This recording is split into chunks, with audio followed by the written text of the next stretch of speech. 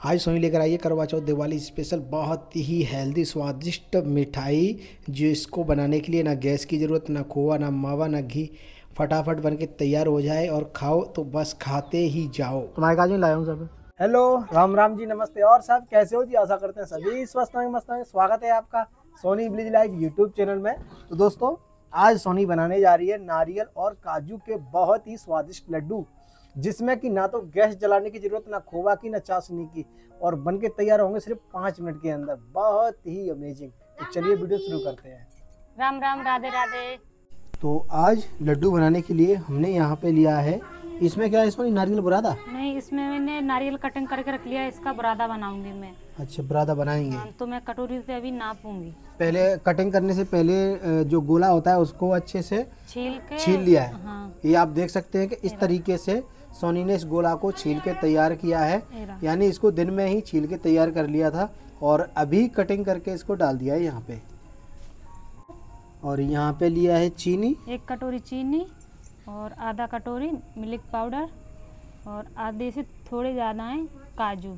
तो इन सब चीज़ों को काजू और मूंगफली दाने। नहीं मूंगफली तो एक दो डरिया है। अच्छा वैसे ही डाल दिए ऊपर से एक दो है।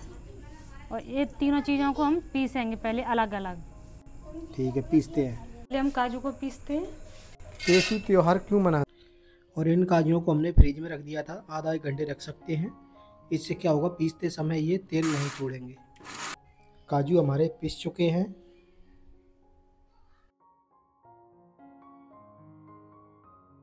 ये है नारियल गोला।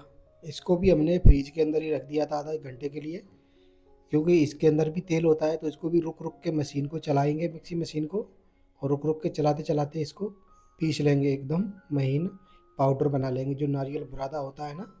देखिए, हमने नारियल बुरादा कर लिया है, कितना बारीक है। और तो इसको हम बर्तन में डाल लेते हैं। अब हम चीनी को भी पीस लेते हैं। और देखिए, हमने ये सब चीज़ों को पीस लिया है। तो अब हम इसको एक बर्तन में, बड़े से में सब चीज़ों को डाल लेंगे। ये है काजू और ये नारियल बुरादा।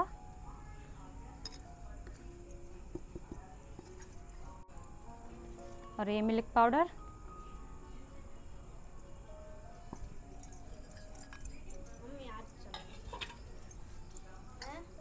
और ये चीनी।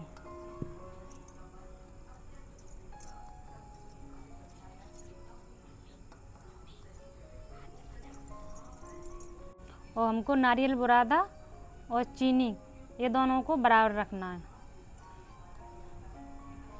और चीज़ कोई कम ज़्यादा हो जाए तो कोई परेशानी नहीं अब अच्छे से मिक्स कर देंगे सब चीज़ों को।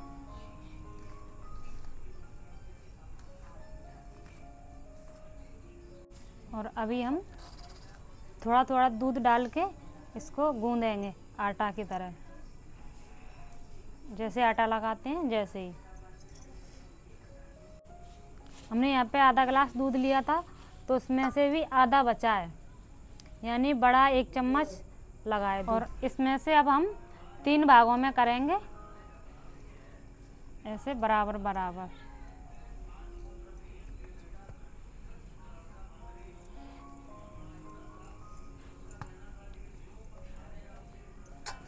ये हमने बराबर बराबर कर लिए अब इसमें हम कलर मिलाएँगे। ये है मैरून कलर तो इसको हम इसमें मिलाएँगे। कलर लेंगे हम। इस पर थोड़ा सा पानी डालेंगे और अच्छे से मिलाएँगे।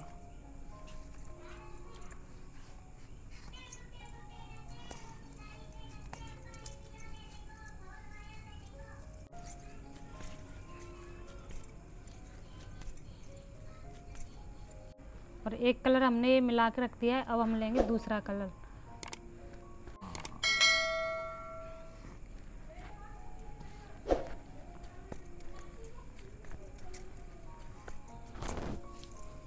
संतरी कलर। ये कलर बहुत अच्छा लगता है ये वैसे।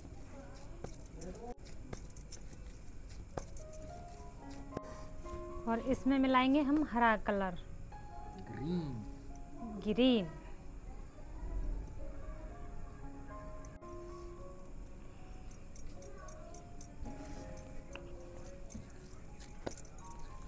ये तीनों कलर तैयार हो गए।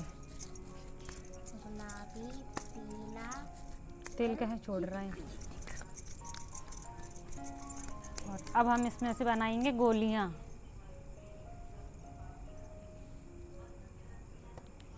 छोटी छोटी गोलियाँ। और अब हम बनाएँगे गोली गोल गोल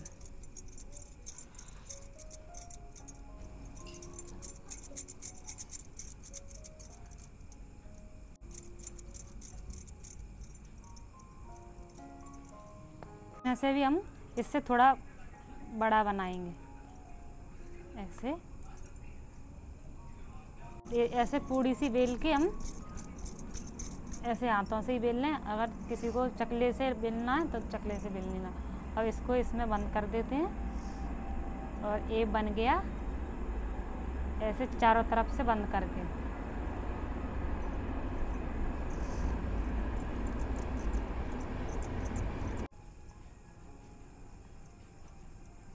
बिल्कुल आसान ही है बिल्कुल आसान तरीके से बन जाती है। ये देखिए, इसको अब फिर से गोल कर दो। एक पे डालेंगे और ऐसे दबा के, हाथ से ही पूड़ी बना के, सबको ऐसे ही बनाना है। और ये रखेंगे पेड़े को और इस तरीके से दबा देना है। ये बन गया। चारों तरफ़ से ढक दे गोल गोल फिर से कर देना। बन गया, बिल्कुल आसान तरीका है। और इस कलर में से भी हम छोटी छोटी गोलियाँ तोड़ेंगे।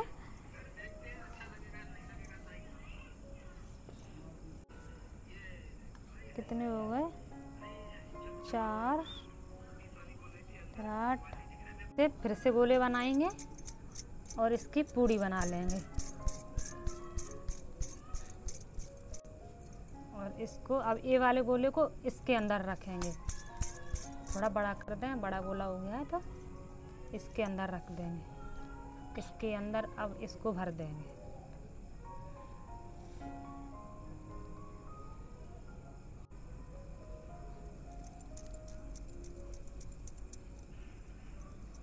ये रह जाएगा तो कुछ नहीं है। थोड़ा बहुत। और ये देखिए कितने सुंदर सुंदर लड्डू बनके तैयार हो गए। लड्डू तो सोनी ने इतने बड़े बड़े बनाए हैं। कि एक लड्डू से झिक जाओगे और टनाटन क्या? हो जाओगे ये कितना बड़ा बड़ा तो लड्डू बड़ा ही बड़ा बनाती हूँ। और ये लड्डू बन चुके हैं। कितना तेल छूटा है? और इनमें से ही ये निकला है। नारियल का तेल छूटा है ये है ना? नारियल का तेल निकल रहा है।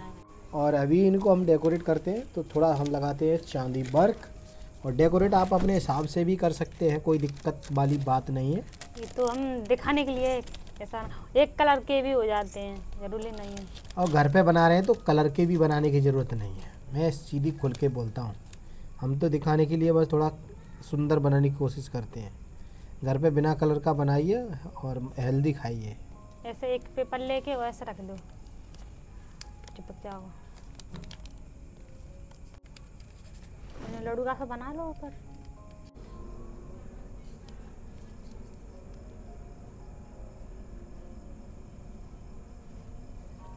ये वाला तरीका सही है लगाने का। रुक जब मैं लगाता हूँ। जैसे ये है कागज़, एक लड्डू लेंगे और ऐसे रखेंगे और ऐसे घुमा देंगे। ठीक, ये चिपक गया।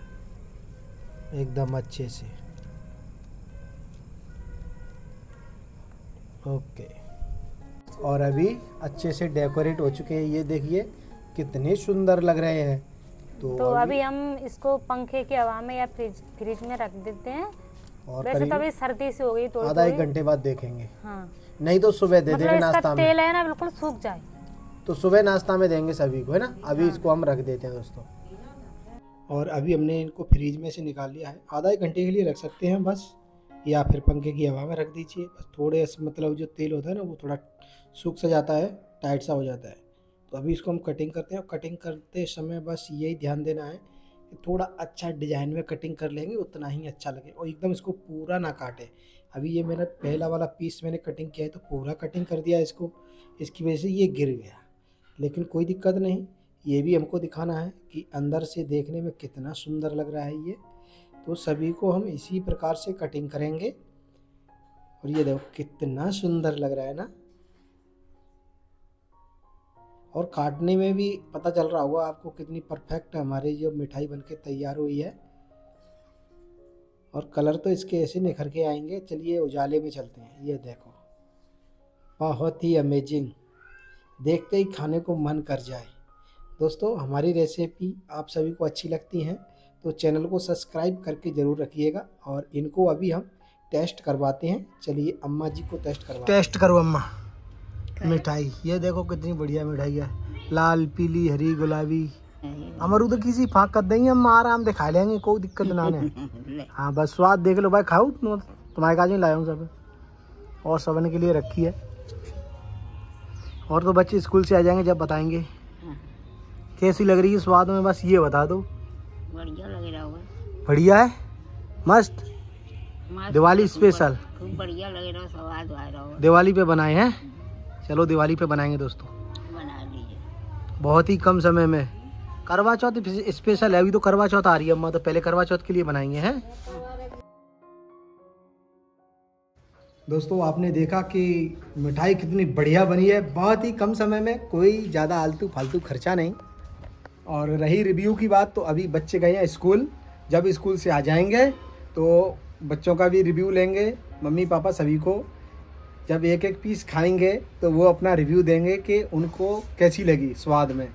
तो ये सब देखने को मिलेगा आपको Soni Dharmendra blog YouTube channel पे। तो वहाँ पे जाके आप ज़रूर देखना और पसंद आए वीडियो, हमारे ब्लॉग वीडियो तो चैनल को सब्सक्राइब भी कर लेना दोस्तों। तो मिलते हैं आपसे कल एक नई रेसिपी के साथ। जब तक आप ये बताइए कि आपको आज की हमारी रेसिपी कैसी लगी, पसंद आई तो वीडियो को लाइक करें और चैनल पर नए हैं तो प्लीज़ चैनल को सब्सक्राइब कर लें। कल फिर मिलेंगे नई वीडियो में। जब तक के लिए राम राम, दुआ सलाम। जय हिंद बंदे मातरम।